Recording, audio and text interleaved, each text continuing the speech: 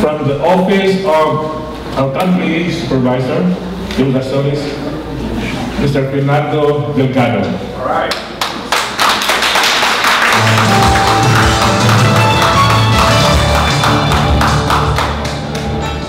Mabuhay. Buhay. Buenas tardes, buenas noches.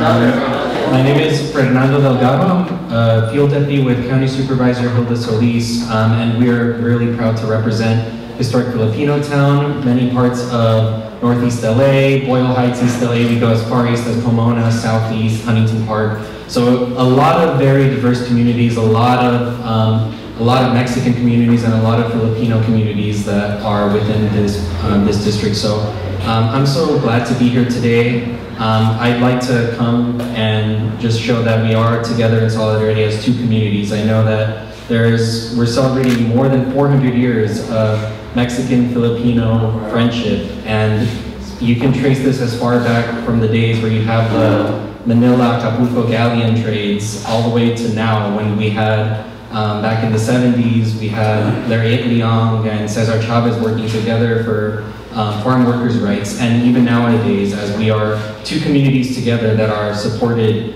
in, in fighting for the rights of immigrants, fighting for the rights of, um, for affordable housing, um, fighting for our DACA students. Um, it's really important that we continue to stay strong, we continue to be together, and we are so honored to be able to be here, and we're really looking forward to also um, be able to come back to the second annual, third annual. We want to keep this thing going, and we want to make sure that we can also bring this to our community, our American communities. Thank you guys so much. And I wanted to also come and present a certificate on behalf of Supervisor Hilda Solis from the County of Los Angeles.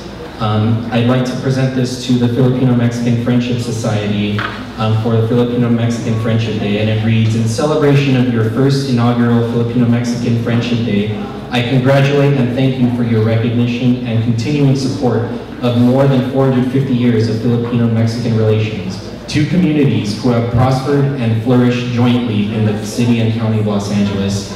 So, without further ado, I'd like to invite the board up here, and the president, and thank you very much.